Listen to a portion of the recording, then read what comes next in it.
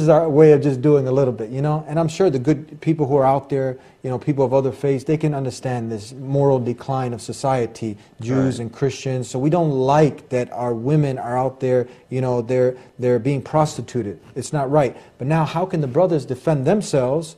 Allah's given us the formula, and they're just, their urge is coming out and they're boiling up inside. And you know what? This is a major sin if you fall into boyfriend, girlfriend, and you're uh, i- involved in illegal sexual intercourse. Pornography is on the rise. No Muslim should have any part in this. What are your comments and suggestions? What I would say is, you know, what Shaitan tries you to tries to do with you, and you know, when, when the whole John Edwards scandal happened, there was a whole. I remember Time Magazine or Newsweek did a whole issue on the psychology of a cheater, and in essence, when a person cheats, what they try to do is they try to ignore reality and they try to ignore the consequences of their actions. So, for example, a person that's cheating on his wife will not pull out his wallet and show the woman that he's cheating with the pictures of his kids and things of that sort. He wants to ignore reality. He wants to keep that put away, right? He's going to keep his cell phone on silent.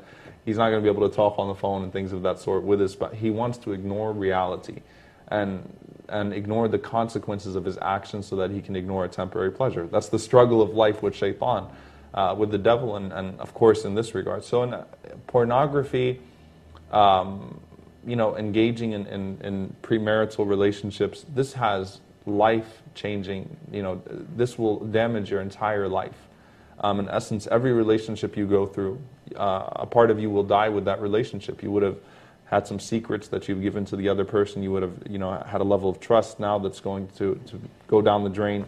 Um, you would have exposed certain things to that person. And so, I mean, every time you go through one of those, a part of you dies. Your capacity to love dies. You become more suspicious of the next partner, the next partner, the next partner. You become vulnerable. Um, in one medical journal, um, I forgot which university, they said that a woman who loses, uh, who loses her virginity by the age, in, while still in high school, is likely to have up to 17 partners in the next five years. Wow, 17. Yeah, because of the vulnerability, the, the feeling of vulnerability. So this is for brothers and sisters. You go through relationship, you go through these things, it will have damaging effects on your life. In essence, um, even in, in marriage, even in marriage, you know, you, you'll still have those, those lusts, you'll still have those, you know, you'll still be looking all over the place and you won't be satisfied at home. And the last You'll thing you want is to, yeah, you, and that's what's happening here in this, you know, here today, unfortunately, an over 50% divorce rate in this country. That means when you walk down the aisle in, in the United States, in our country, uh, you know, there's a greater than half of a, there's a greater than half chance that that person is going to be battling you in court for custody or for your wealth. Half a chance. Yeah, more than 50%. The divorce rate has risen, risen above 50% at this point. But don't stop there. We know Islam is the self defense to all of this Right. negativity, evil that happens. And now we look at studies. You mentioned a study from Harvard. Talk about this study of people who have premarital sex and the chances of their relationship coming to an end just because of this. And Islam prevents this from happening if you just follow the way of life from the Creator. Talk about this study from Harvard. Absolutely. Well, uh, again, There's like a 69% chance or something that your, uh, your, your, your marriage will fail, 79%. Right, right, absolutely. Well, I, I think it's it's clear. You know, imagine a society.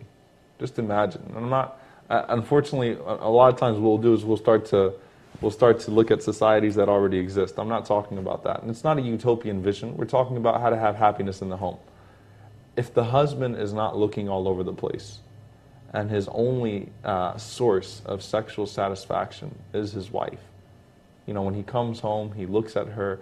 And Islam also encourages the spouses to look good for each other in the home. You know, Abdullah ibn Abbas, the great companion, may Allah be pleased with him. Before he would walk into the house, he would start combing his hair, perfume himself, fix his clothes up, you know. And he said, look, I like to look good for my wife just as I like her to look good for me.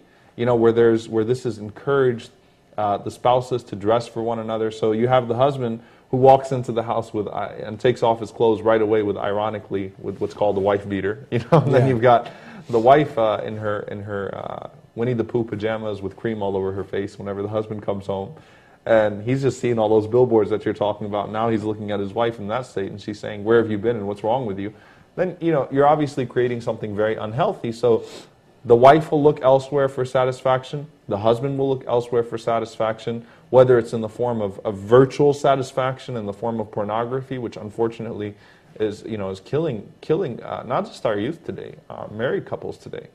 It has life altering effects. Yeah. Right. So I mean, the, the, you just will never be able to have happiness in your marriage. So that's why Islam encourages you focus your gaze on your spouse. Whenever you you get married, you should look for someone. One of the things that you should look for is someone that you're attracted to. There's no doubt about it. But once you're once you're there, you're there. That's it. You look at these glorified um, individuals online, uh, people that aren't real looking, you know, and and uh, you know you indulge in that then nothing is going to satisfy the eye anymore. And uh, again, everything Allah legislates is for your own good also. It's for your own good in this world. So Allah is trying to make it easy for you. So what I would say to those people, because look, I mean, let's face it, pornography and those types of, it's, it's so rampant and people are struggling with it. That would even be good in other areas. They're good Muslims, but they're struggling with that. Just think about the consequences with God. Think about having to meet Allah and having to have that pornography played in front of you and having to explain to Allah that I was watching this in front of you. Because Allah was watching you the whole time. You know, it would get awkward if someone was watching you mm-hmm. while you were watching pornography. Yeah. Allah was watching you. So this is killing your relationship with God. Because in essence, back to the psychology of a cheater, you're purposely trying to ignore God at those moments. No one is sitting there reading Quran while they're watching pornography or remembering God. They're trying to forget that God's watching them at that, at that moment. So Remember God is watching you. And as a scholar said, Anta turaqibullah wallahu. You are in observance of Allah and Allah is an observance of you. You know, so that's that's what I would say to those brothers. And that way, inshallah, whenever the time comes, you save yourself for the right sister, sister, save yourself for the right brother. Then inshallah you would find that uh, you would find that satisfaction in looking at them and you would find that satisfaction in being with them. And the superficial uh, aspects of beauty would definitely go away, but the inner beauty would be your focus, and that would allow the person to remain beautiful in your eyes for the rest of your life, inshallah.